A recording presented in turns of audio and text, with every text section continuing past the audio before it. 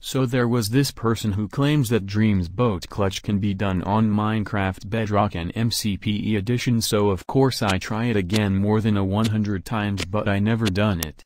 And then I ask him how to do it and he said that it's about the timing so I again I try to do it for 50 times and I found out that it is possible. Now I am deciding if I am gonna delete that video or just keep it and recommend this video on that video and let people who watch it that it's possible. What do you think guys? Should I keep it or delete it?